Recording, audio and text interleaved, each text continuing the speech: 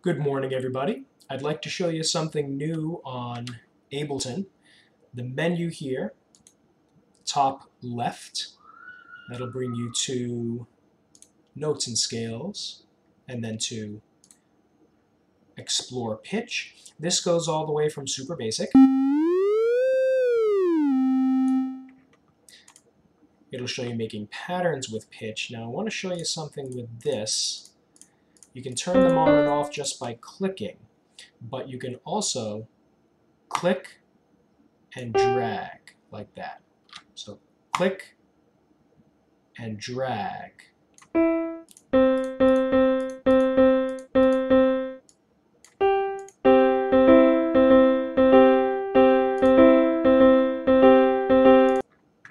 and you can play around with that. It'll bring you through major keys. See the piano there representing the notes, and just like before, you can go. Yes, that was Do, Re, Mi, Fa, Sol, La, Ti, Do. You can use the keyboard like that.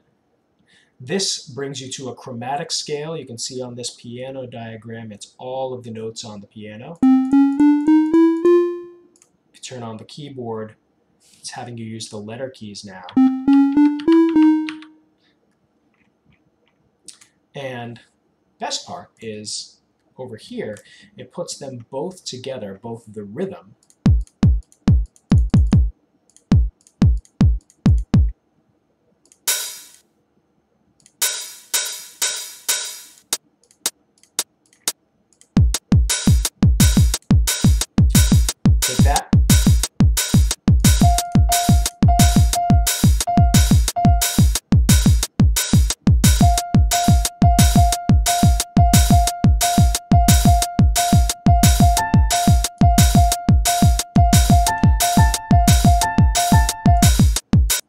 and you can play with it like that.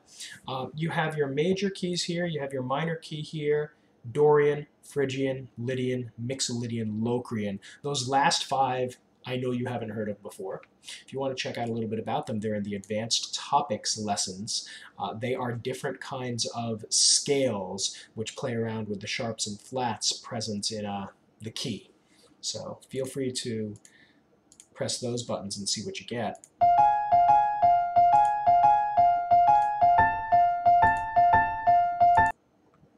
Anyhow, desktop today is a Morgan three-wheeler. This is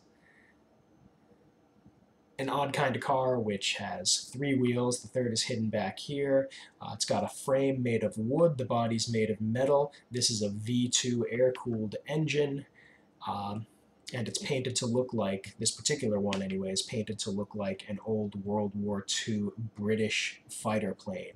Uh, it's called a Morgan three-wheeler. It's a pretty cool car manufacturing company. They do some unique stuff. So, if you're interested, check them out. Anyhow, that's all. Have a great day.